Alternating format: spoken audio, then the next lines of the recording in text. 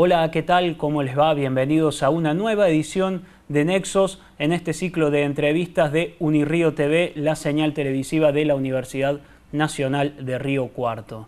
La propuesta para esta media hora de comunicación es un diálogo con la profesora Iris María. Profesora, muchísimas gracias por venir a los estudios Unirrío TV. Gracias a ustedes. La profesora Iris María es narradora, es docente de nuestra universidad en el área de educación inicial y está, ha organizado este, esta séptima edición ya de este Festival Internacional de Narradores, el Narra Palabra. Profe, ¿cómo fue esa experiencia de haber organizado esto y cuál es el balance que hacen en definitiva de la actividad? El balance es absolutamente positivo, ha superado las expectativas nuestras. Es un festival que, viene haciéndose a pulmón hace siete años este, en forma consecutiva y, este año es como que explotó, ¿no? Este, se ha consolidado, eh, ha ido a la región, eh, ha ido a muchísimas escuelas, eh, ha hecho un montón de actividades em, como para todas las edades, en espacios no convencionales, convencionales, y con la apertura de instituciones eh, como es la Universidad Nacional de Río Cuarto a través de la Facultad de Ciencias Humanas, que ellos siempre nos dieron su aval desde el vamos, ¿no? Este, cuando apenas nos asomábamos y éramos una propuesta extraña, eh, la universidad abrió sus puertas, la municipalidad también, y este año tenemos la dicha de, de haber sido declarado de interés público por la legislatura de la provincia de Córdoba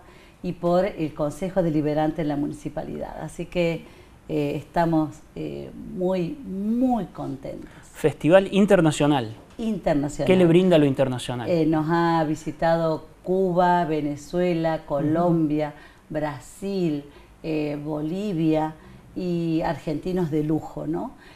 son narradores que están conectados con la red internacional de este, cuentería, ¿no? La red latinoamericana de, cuentería. Y mm, esta gente son maestros de maestros, son popes de la narración oral. Y viene a, deleitarnos con sus historias, con sus tonadas, con su cultura y a hacer esta mixtura de voces para recuperar un espacio que, peligraba. ¿no? Y eh, nosotros estamos convencidos de que la palabra emancipa y, que este banquete tenía que ser para todos.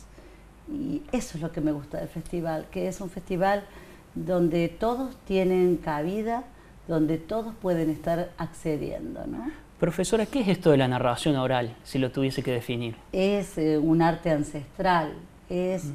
la, sencillez, la simpleza de encontrarse con el otro, de abrazarlo con la mirada y de contar la vida. La narración oral es eh, algo inherente al hombre. Desde el momento en que el hombre es hombre, eh, necesita contar la vida.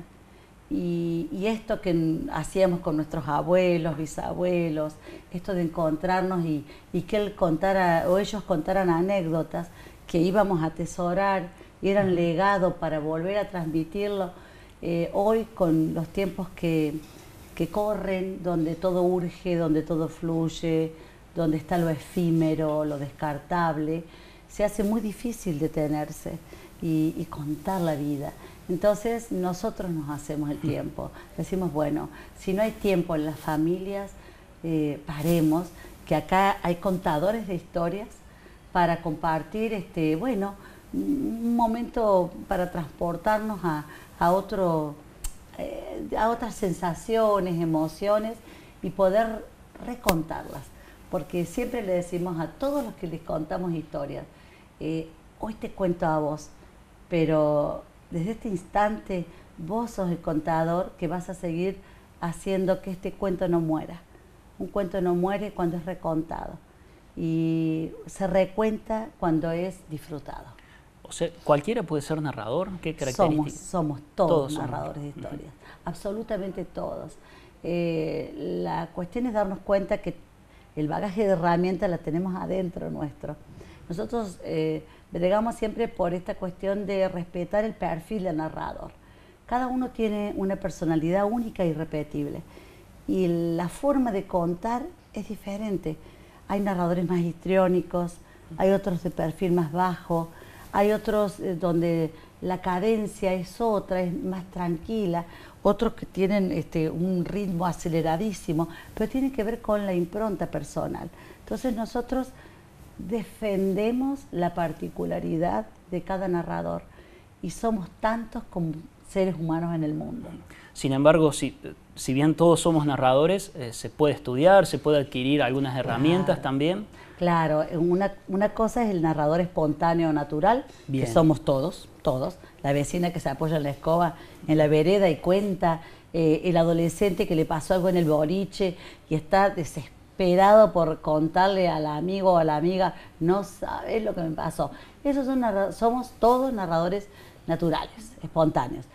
El narrador profesional, el narrador profesional ya sea el escénico, el comunitario o el docente, el que cuenta en el aula, eh, tiene que formarse. Nosotros somos, de esa idea de que tiene que, transitar un trayecto de descubrimiento de sus propias herramientas, de mm, tomar ciertos recaudos, de mm, mm, echar a rodar cuentos. ¿Qué cuento? Seleccionar adecuadamente. ¿Para quién cuento? Eh, ¿Para qué cuento?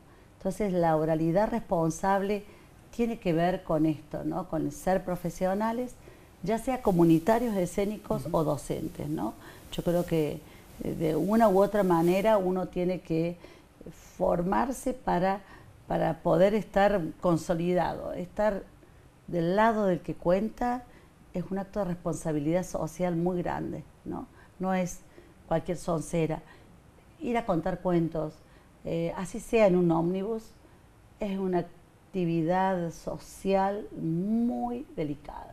Un posicionamiento incluso. Exactamente, tiene que ver con un posicionamiento ideológico, ¿no? Social, y, uno tiene que también evaluar cómo deja al otro, ¿no? Si yo cuento esto, ¿cómo te dejo a vos?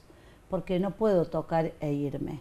El tocar e irme y desaparecerme y dejar al otro desprovisto eh, es un riesgo que no, no hay que correr.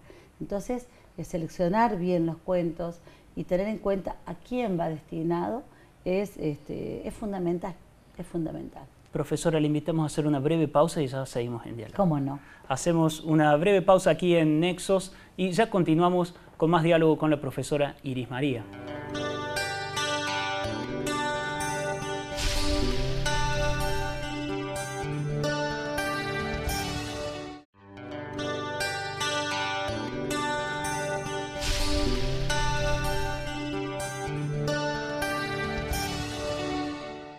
Abrimos el segundo bloque de Nexos en diálogo con la profesora, narradora Iris María, profesora, para continuar el diálogo del primer bloque. Eh, le consulto, ¿está coordinando una, una, manera de capacitación aquí en Río Cuarto para narradores, una experiencia? Coméntenos de qué se trata. Sí, este es un gran año, es completito este año. Eh, teníamos el sueño de traer la escuela Narracuentos a Río Cuarto. La escuela Narracuentos este, está funcionando en Córdoba, ¿no? Hace ya prácticamente una década que están trabajando en Córdoba fuertemente. En este momento está dirigido por Alejandra Oliver Gulle, que a su vez es directora de, los festivales ¿no? internacionales. Entonces, este, traerla a Río Cuarto era mi sueño. Decía, bueno, si lo traemos es para que se quede, para que no, eh, para que no se diluya, ¿no? Este, eh, eh, que necesitamos gente con ganas. Cuando yo ya percibí a través de un espacio comunitario que tenemos gratuito, que se llama La Rueda Cuentera, em, percibí que había mucho interés en que se trajera esta escuela, entonces ahí eh, nos animamos. Y nació el 29 de abril de este año eh, y funciona los segundos y cuartos jueves en la sede eh, de gremio docente de la universidad, que generosamente nos abrió sus puertas. Así que mm, allí de 18 a 21 estamos con gente que viene de Córdoba, con capacitadores de Córdoba, transitando tres horas, pero eh, fascinantes. Es la modalidad es taller y con un método muy específico y revolucionario que se llama el método PEPA, preservar estilo potenciando aptitud. Es decir, tratando de que tu estilo no se diluya, no se estereotipe y a su vez lo que vos tenés de herramienta, eh, sacarle el máximo de provecho. Entonces, eh, eh, la idea es que asiste cualquiera, aunque no tenga ningún tipo de antecedente, ningún tipo de, de, experiencias previas, vienen abuelas, vienen docentes, vienen bibliotecarios, vienen narradores orales. Es decir, asiste todo ser humano adulto que, quiera, este, que quiera transitar un, momento de mucho placer y de descubrimiento de sí mismo como narrador oral. Y hacemos puestas colectivas, que eso nos, nos eh, hace más solidarios. Las puestas colectivas hace que el narrador se corra de su ego y, también piense en el otro, ¿no? Y que si yo tengo que contar este tiempo es porque tengo que reservarle al otro este otro tiempo de contada, ¿no? Entonces, eh, la verdad que son clases muy interesantes con este formato de taller y la gente, si no puede asistir las dos clases del mes, puede asistir a una, que, el proceso o el trayecto lo, va a ir armando según las posibilidades personales que tengan para ir, ¿no? Profesora, eh, en torno a, a las historias o cuentos escritos, ¿toda historia es posible de narrarse? Sí, pero hay que hacer un análisis previo. Hay, hay cuentos que están preciosamente escritos y que pasarlos a la oralidad tienen un nivel de complejidad muy grande que hace que uno corra el riesgo de destrozarlo. Claro. Que corra el riesgo eh, de, de terminar diciendo lo que el autor no quiso decir. Entonces, eh, hay que, requiere un análisis previo. Un estudio. un estudio previo, hay un trabajo previo de escritorio que, es interesante hacerlo. Eh, hay cuentos que, que escritos eh, se lee de una manera y al oralizarlo adquiere una vida propia, que tiene un matiz diferente, pero que en esencia se está diciendo lo que el autor este, propone.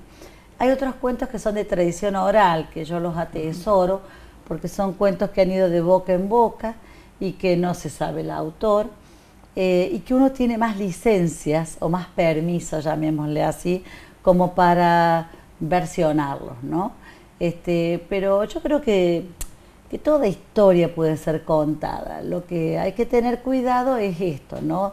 De cuentos de un nivel de complejidad muy grande, eh, que para oralizarlos requiere ¿no? de mayores herramientas, si se quiere. ¿no? ¿Algún cuento escrito de algún autor le resulta de más dificultad? ¿Algún estilo de un autor? Y sí, de pronto contar a Cortázar o a Borges este, eh, es complicado en el sentido de que hay, hay construcciones literarias que son exquisitas y que uno tiene que apelar a la, este, ¿no? a la, memoria en cuanto a lo literal de esos de esas construcciones, eh, pero nada es imposible. Yo he escuchado narradores contarlos y digo, wow, qué maravilla, ¿no?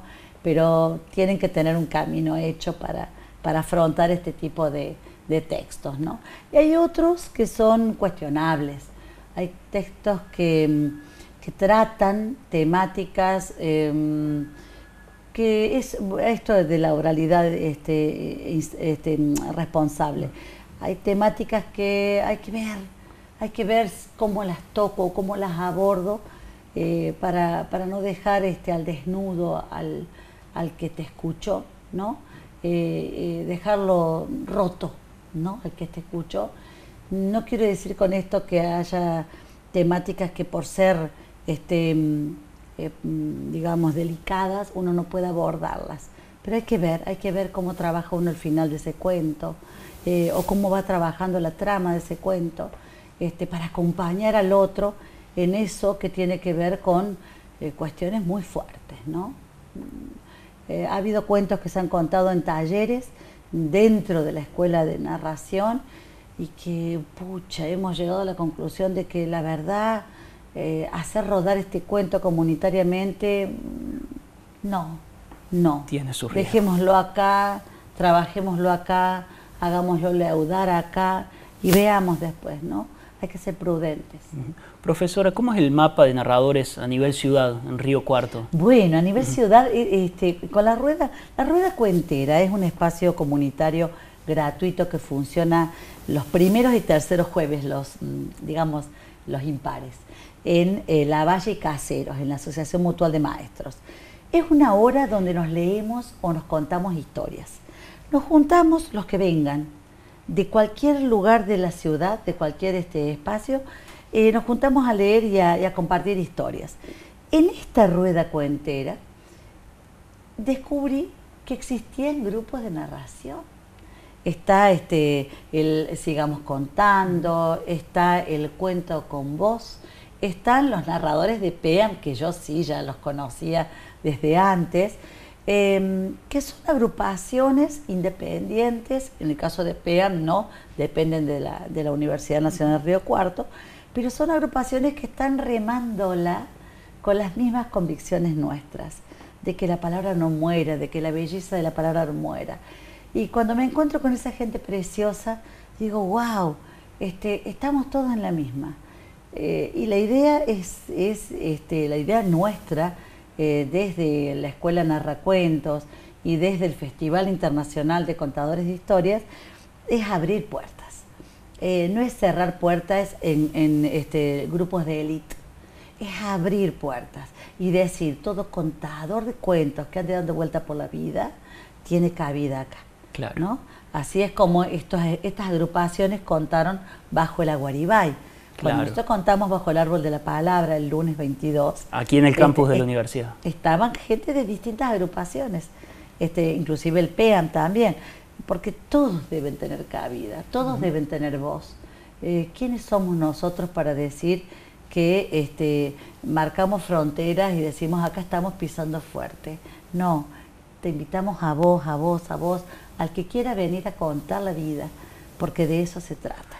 Profesora, le invitamos a hacer la última pausa aquí en Nexo. ¿Cómo no? Marcamos la última tanda y ya volvemos con más diálogo con Iris María.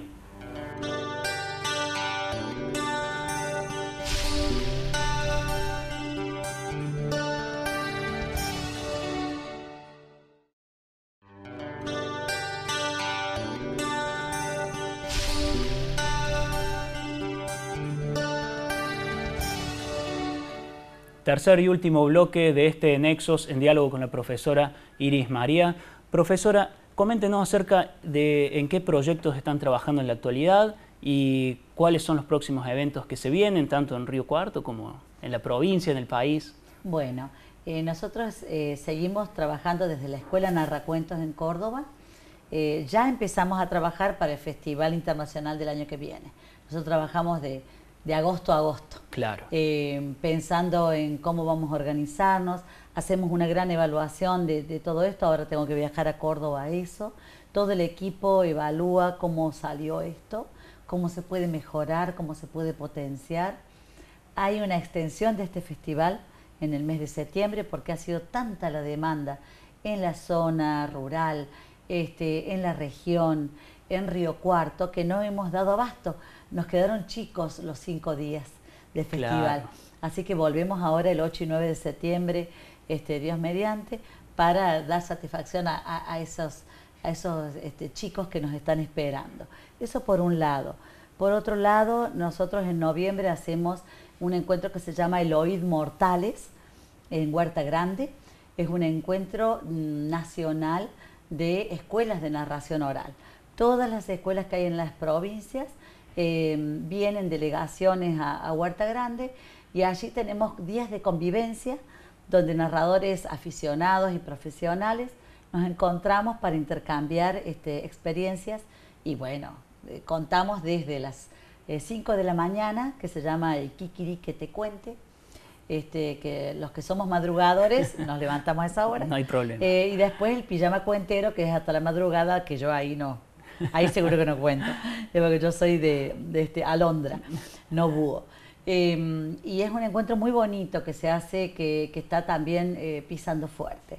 Después tenemos eh, mm, un circuito de capacitación eh, que vamos dando a quienes requieran, a las escuelas que nos han pedido que vayamos con el festival, También les ofrecemos un taller gratuito que viene gente de Córdoba para, para darle un taller a los maestros, para sembrar, para que ellos tengan ganas, para que se animen, para que vean que no es este, em, un, arte tan extraño, es la naturalidad de contar, como contamos una anécdota, contar este, literatura. Así que em, eso, digamos, es a grandes rasgos. Después van surgiendo otras cuestiones como, como son tareas comunitarias barriales este, y nos vamos metiendo por los intersticios de, lugares que están invisibilizados y que necesitamos que nuestras voces lleguen allá. ¿Y cómo es la recepción en esos contextos? Ah, pero maravilloso, maravilloso. Yo pongo de ejemplo, por ejemplo, este, el hogar de día de personas con discapacidad intelectual, Proyectar, que es un lugar donde quiero volver, quiero volver. Hemos ido una y otra y otra vez y necesito volver porque es tanto lo que nos ofrecen del otro lado, es, completan el círculo desde un nivel de afectividad, de, emoción tan grande que uno dice misión cumplida, ¿no? Uno va ahí y dice misión cumplida. Eh, también estamos viendo la posibilidad de ir a la Feria del Libro a San Pacho, eh, o bueno, siempre hay alguna escuela de algún barrio eh, donde estoy yendo como para hacer una contada y decir, bueno, quédense con las ganas que esto está bueno. Para la Feria del Libro de este, Río Cuarto. Para la Feria del Libro en Río Cuarto vamos a hacer, voy a hacer un espectáculo para bebés y para mujeres embarazadas eso va a ser en la, en la japonesa, que es un lugar muy íntimo, muy bonito. Eh, y también contadas para jardines de infantes y, primaria, eh, que ahí vamos a estar con, un espectáculo que siempre eh, ronda con, las, mm, con cuestiones tradicionales o de juegos tradicionales. tiene que ver generalmente las temáticas con cuestiones bien nuestras, ¿no? que, que nos ayuden a sentar raíces. Claro. Llegamos al final de esta segunda semana de Nexos. Los esperamos el lunes a las 16 horas, como siempre en la pantalla Unirrío TV. Muchas gracias.